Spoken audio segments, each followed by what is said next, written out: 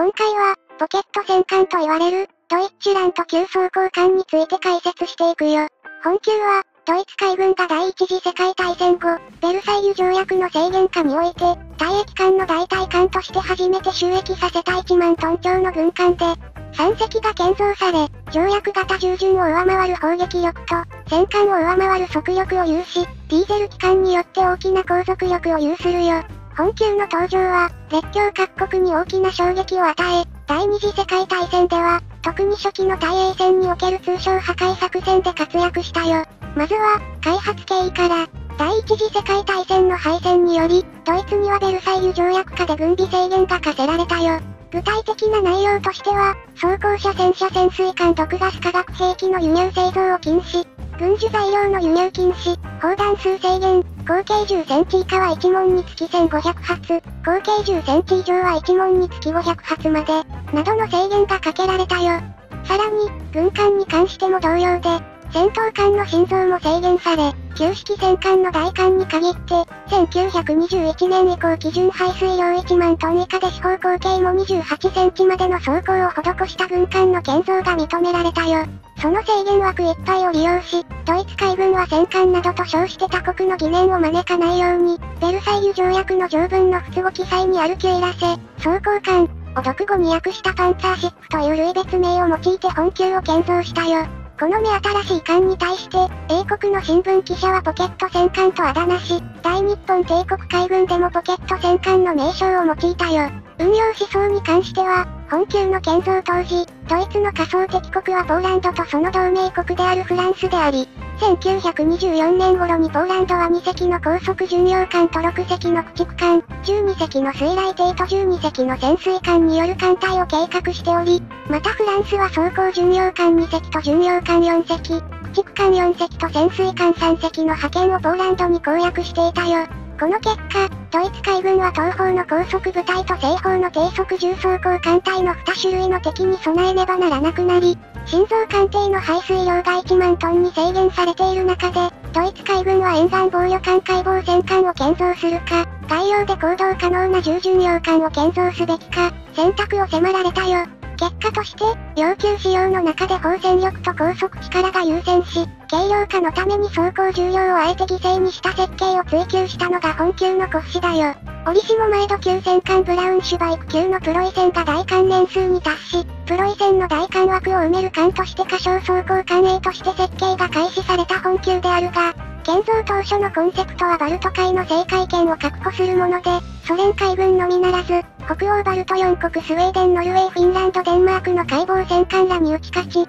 バルト海での海上交通路を維持することを目的としており、本来ならば大西洋に打って出る性質のものではなかったよ。そのため、本級の設計は試行錯誤の連続であったよ。建造前の初プランは、明らかに土級艦クラスを想定した性能が求められており、本級は攻撃力では解剖戦艦を優越し、土級戦艦に対しても複数で当たれば勝てる程度の戦闘力が与えられているよ。そして、複数で当たるための迅速な展開を可能とする高速巡航能力も与えられたよ。通称破壊戦はドイツ海軍の国防上の使命であり、質量ともに英仏海軍に劣る中で構想上は十分考慮はされたものの、英国との全面戦争は当面不可能であり、ワイマール時代のドイツ軍の戦略はあくまでも陸上に主眼が置かれ、海軍は陸軍が停戦に至る局面を現出させるまでの時間稼ぎ以上の役割はなかったよ。建造に至るまで数々の試案が検討され、これから、その試案と廃案の理由について説明していくよ。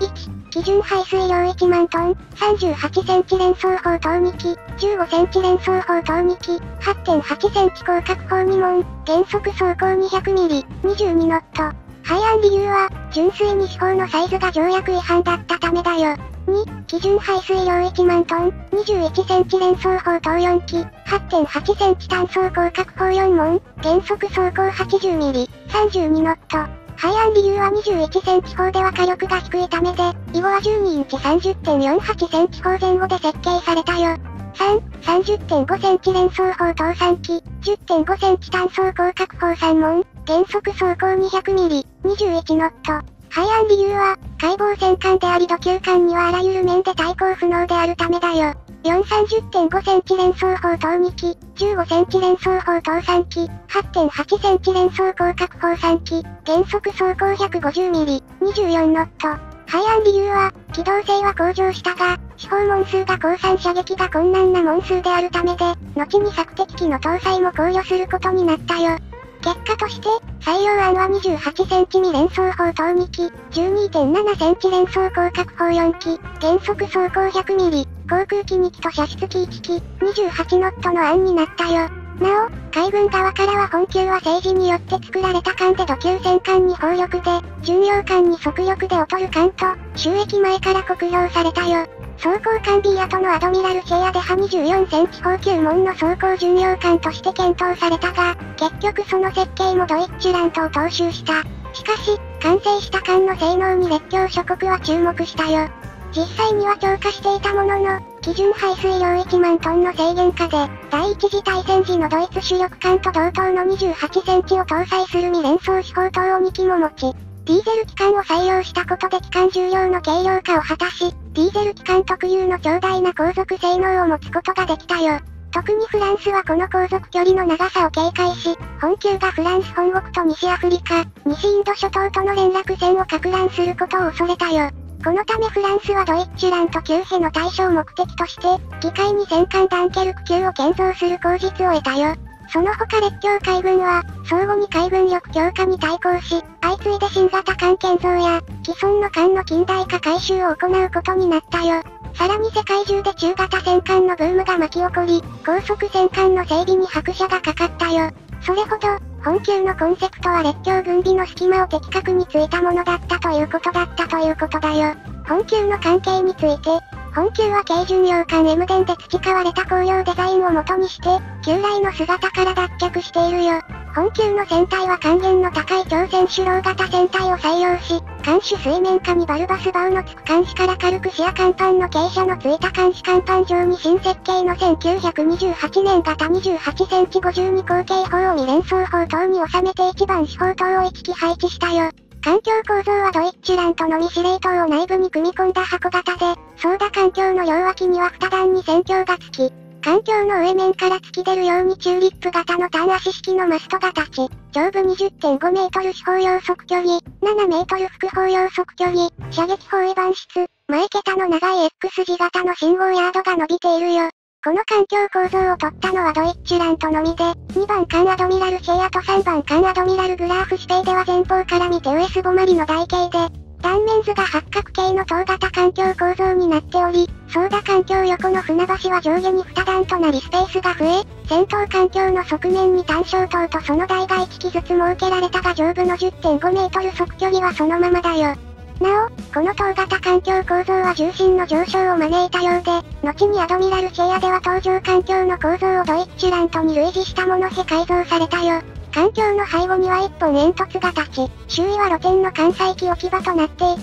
煙突の基部には片弦1機ずつクレーンが計2機配置され関西艇を運用していたよ。1935年にカタパルトが1機増設設置されたよ。カタパルトは360度回転し、いずれの方向にも関西機を射出可能で、また、関西艇はカタパルト設置後は煙突の後方に並べられたよ。煙突の後方には T 字型の上部構造物が設けられ、その上に後部側距離を乗せた見張り所が設けられたよ。本級は軽量化に船体設計の重点を置いており、ベルサイユ条約の制限である排水量1万トン以内に抑えるため、多くの当時の最新技術が盛り込まれたよ。地方の門数6門を維持しつつも砲塔数を減じて武装重量を軽量化すべく、新設計の3連装砲塔を採用し、また、環状構造物に高価である警合金を多用し、船体の建造方法も当時の主流であるリベット止めではなく、最新技術の電気溶接で建造できるようにクルップ社が本級のために溶接が可能な鋼材を新規開発したよ。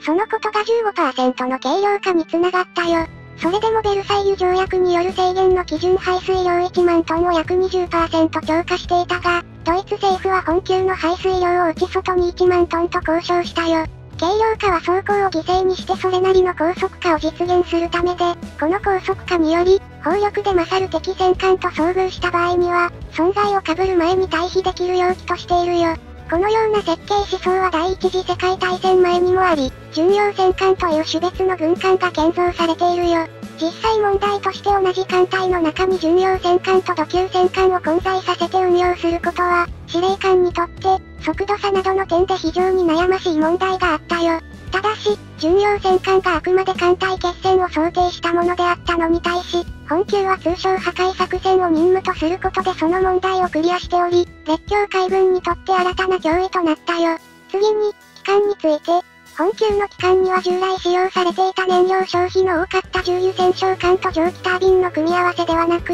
燃料消費の少ない高出力大型ディーゼル機関を採用したよ。これはかさばる蒸気機関よりも機関スペースや燃料タンクなどのスペースを軽減でき、引いて破船体や重要区画のサイズ縮小すなわち、防御範囲縮小をもたらすため重量軽減に大きく貢献し、排水量制限の厳しい本級にとってまさにうってつけの特性だったよ。これにより、財政状況の厳しい海軍で燃料費の節約につながった上、補給基地が不要なほどの強大な航続力を得たことは、前大戦時には太陽での通称破壊戦に必要な燃料補給に悩まされた海軍に戦略的に有利となったよ。しかし、ディーゼル機関には問題がなかったわけではなく、各機関の回転総数が耐久限界の7200万回転に達する間に、クロスヘッドピストンボート付け部の故障が頻発し、十数回ほど改造したが効果はなく、最後に5分の1模型や部分模型による精密実験によってようやく原因を究明して故障を克服したよ。また、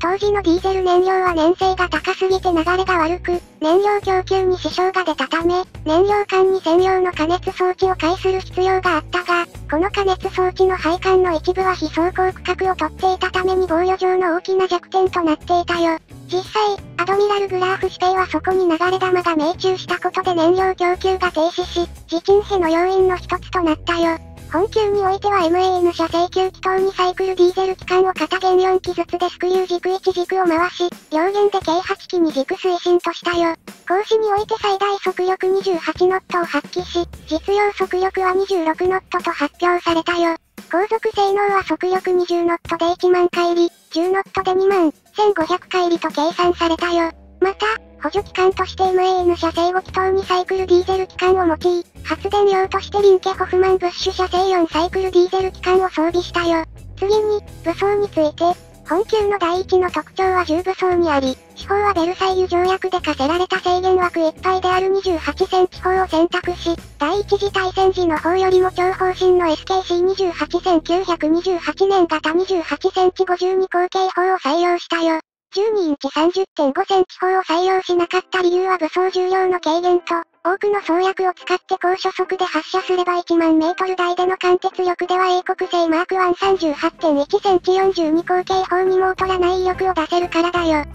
また、過去の技術的蓄積が多いこと、射撃速度が稼ぎやすいことなどのほか、方針が軽いということは不要や旋回速度にも良好であり、同じ弾丸定数なら弾丸を小さく軽くでき、その分弾薬庫も小型化できて防御重量も軽量化できるなど様々な利点があったためでもあるよ。性能的には重量 300kg の砲弾を、初速 900m 毎秒で陽角40度で3万 6475m も届かせる長射程を持っていたよ。これは、第一次世界大戦以前に作られた巡洋戦艦モルト家級やザイドリッツに搭載された方の性能よりもはるかに優れていたよ。この新型砲を、従来の連装砲等が主体のドイツ主力艦では採用していなかった未連装砲等に収め、方針を乗せた砲火は3門それぞれが別個に上下できる独立砲火で、方針の不要能力は行角40度深く10度だよ。砲塔の旋回角度は単体守備線方向を0度として左右150度で、四方針の不要砲塔の旋回砲弾の溶弾装填は主に電力で行われ、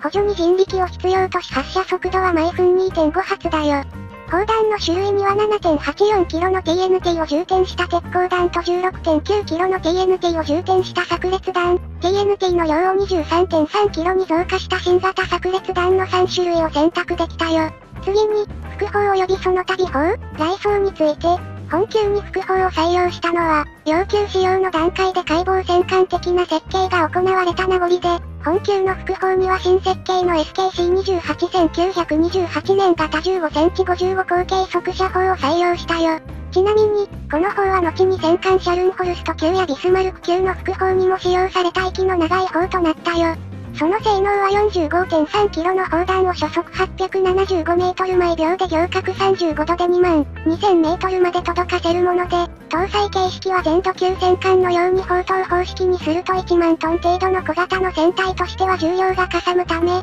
弾装砲火に防順を取り付けることにして軽量化に貢献しているよ。方針の不要は行角35度深く10度で、方針の旋回と不要は電動と人力で行われ、障害物がなければ360度旋回できたが実際は環状構造物に社会を阻まれたよ。発射速度は毎分6から8発だったよ。他に対空用として SKC311931 年型 8.8cm78 口径広角砲を採用し、その性能は9キロの砲弾を行角45度で1万 7800m まで、最大行角80度で最大射高1万 3300m まで到達させたよ。放火の旋回と不要は電動と人力で行われ、放火の旋回角度は原則方向を0度として左右方向に80度旋回でき、不要は行角80度深く10度で、発射速度は毎分15から20発だったよ。後に、後に能力不足であるとして後継を大型化した、SKC33933 年型10.5センチ65口径広角砲へと更新されたよ。この砲は 15.1kg の砲弾を行角45度で1万7700メートル、最大行角80度で1万2500メートルの高度まで到達させたよ。旋回と不要は電動と人力で行われ、不要は行角80度、深く8度で、発射速度は毎分15から18発であり、搭載数と装備位置は以前と変わらなかったよ。また、近接対空火器として SKC301930 年型 3.7cm83 口径速射砲を採用し、その性能は 0.742kg の砲弾を行角45度で 8500m まで、最大行角85度で最大射高 6800m まで到達させたよ。放火の旋回と不要は電動と人力で行われ、放火の旋回角度は障害物がなければ360度旋回できたが、実際は環状構造物に車界を阻まれたよ。放火の不要は行角85度深く10度で、発射速度は毎分30発だったよ。また、これを連装砲火で4機搭載したよ。他に手法をもってしても相手にならない戦艦と戦う時の備えとして水雷兵装を53.3センチ魚雷を4連装魚雷発射艦に収めて、完備側に片弦1機ずつの並列配置で計2機を配置し、後に装甲カバーが追加されたよ。次に、防護力について、本級の仮想敵としては条約型従巡洋艦の存在が挙げられ、よって防御能力は対8インチ砲防御とされたよ。しかし、すでにベルサイユ条約で定められた1万トンの排水量制限の中で、武装として28センチ砲未連装2機、15センチ砲単装砲8機という重武装を施し、機関には鉄の塊である重いディーゼル機関を採用したために、防御に避ける重量の制約は他国の従巡洋艦よりも過酷なものだったよ。そのため、本級は旧来の防御様式を捨てて、割り当ての少ない防御重量を効率よく使用するため、直接防御と間接防御を巧妙に組み合わせた防御様式を採用しているのが特色となったよ。本級の防御様式はドイツ主力艦伝統の全体防御様式を引き続き採用し、原則の水線防御は 60mm 走行板を内側に傾斜させて前後に広範囲に貼られたよ。水面から下は 50mm 走行を伸ばして水雷防御を兼ねさせ、さらに機関区の内側に、傾斜させた 45mm 走行を原則走行とは別個に水密隔壁として装着するなど、排水量の割には強固な垂直防御能力を持っていたよ。また、耐水雷防御には間接防御として原則部分は4層に区切られた水密区画となっており、艦艇部は30底になっていたよ。また、甲板防御は機関区の上面は 30mm 走行で原則に近い部分のみ 40mm の走行を張り、四方塔防御は前順走行が 140mm、天外走行が共に 105mm、司令塔が側面部 150mm と排水量の割に強力な防御力を与えられたよ。これにより、イギリス海軍の条約型軽巡洋艦の手法として作られた、15.2センチ50口径速射砲に対しては、原則防御は1万1430メートル以内から、甲板防御は2万メートル以内からの砲撃ならば耐える防御能力を持っていたよ。重巡洋艦への防御能力としては、アメリカ海軍の20.3センチ55口径砲に対して原則防御は2万7070メートルから貫通を許し、四方等防御も1万4630メートルから貫通される防御能力であり、本級は格下のわずの体重巡洋艦戦闘においても中近距離での砲戦では艦内に砲弾の突入を許してしまうことがわかるよ。そのため本級の傭兵としては武装、装甲他の面で少しでも自らが列位に立たされるような敵艦戦との交戦は、その速度によりできる限り避けることが基本とされ、後の戦闘において、戦闘行動の消極化を招いてしまったよ。最後に、本級の還暦について簡単に解説するよ。一番艦のドイッチラントは1931年5月19日、キールのドイッチェベルケ造船所でパウル・フォン・ヒンデンブルク大統領の手によって浸水し、1933年4月1日に収益したよ。そして、同日、ビルヘルムスハーフェン造船所にて2番艦アドミラルシェアも浸水したよ。なお、3番艦アドミラルグラーフスペイは1934年6月30日に浸水、1936年1月6日に収益したよ。1936年7月23日にドイッチュラントとアドミラルシェアは不介入的紹介活動のため、スペイン東岸に送られ、現地においてドイッチュラントは多数の戦争難民の救助活動にあたり、避難していく商船に引き渡したよ。また、ドイツからフランコ政権への援助物資を満載した船舶を護衛したり、共和派の通信を傍受して情報収集を行うなどもしたよ。この期間中に共和派革命派双方の空軍海軍からのご攻撃を避けるために、司法島に中立国の艦艇であることを示す赤白黒のストライプを塗装して判別化を図ったにもかかわらず、1937年5月にドイッチュラントはマヨルカ島パルマのドックにて整備を受けていた際に共和派空軍の空襲を受け、イギリスやイタリアの海軍艦艇と共に対空砲火を送る羽目になったよ。その後、ドイッチュラントはイビサ島に移動したが今度は5月29日に再び空襲を受けて2発の爆弾が命中し1発は環境の付近に着弾し、もう1発は右舷3番副砲近くに着弾して甲板上に猛火を吹き上げ、乗員のうち23名が死亡、73名が負傷の損害を出したよ。これに激怒したヒトラーは洋艦アドミラルシェアに共和派海軍の根拠地であったアルメリアを砲撃するよう命じ、くしくもユトランド沖海戦と同日の5月31日、アルメリア沖合に姿を現したドイツ装甲艦は海岸砲台、海軍施設、港湾の艦艇に対し猛然と砲撃を敢行し拠点を焼き払ったよ。1939年9月の開戦後、出撃したグラーフスペイはイギリス海軍の追跡を受け、ラプラタ沖海戦でイギリス巡洋艦3隻と交戦し、損傷するよ。修理のため中立国であったウルグアイのモンテビデオ港に入港したものの、英軍の情報操作及び前述の燃料系統損傷により離脱不能と判断、スペイは自沈を選んだよ。しかしその後の1940年10月に出撃したアドミラルシェアは幸運にも恵まれ、英軍の追跡を逃れて、大西洋だけでなくインド洋にまで進出し、合計10万トン近い商船を破壊捕獲し、半年後の1941年4月1日にキール軍港に無事帰投したよ。後に、フランスや本国での英空軍による執拗な基地への爆撃から艦隊を守るためと、東部戦線を重要視するヒトラーの意思により、リュッツォーとシェアワタの主力艦ケルピッツなど同様にノルウェーに配備されたよ。また、ディーゼルエンジンの本級は、燃料不足に陥りつつあったドイツ海軍にあっても重宝される存在だったよ。北方に集まったドイツ艦艇はソ連兵の輸送船団攻撃を狙っていたが、1942年末のバレンツ海海戦の敗北で転機が訪れ、もともと水上艦に不信感を抱くヒトラーが大型艦配艦を打ち出し、一時は配艦の危機にさらされたよ。しかし、レーダーの退任とデイニッツの就任、英国への水上艦隊の必要性から配管計画は撤回されたものの、フィヨルドの奥で英軍の航空攻撃から逃れるために係留される状態が続いたよ。輸送に関しては、1945年、爆撃で大破着底したが、上甲板がまだ水面上に出ていたので、残った方で陸上砲撃を行った後に放棄され、シェアはキール軍港で爆撃で同年4月6日の空爆で破壊され、転覆した。以上で解説を終わりにするよ。高評価、チャンネル登録をよろしくお願いします。では、また今度。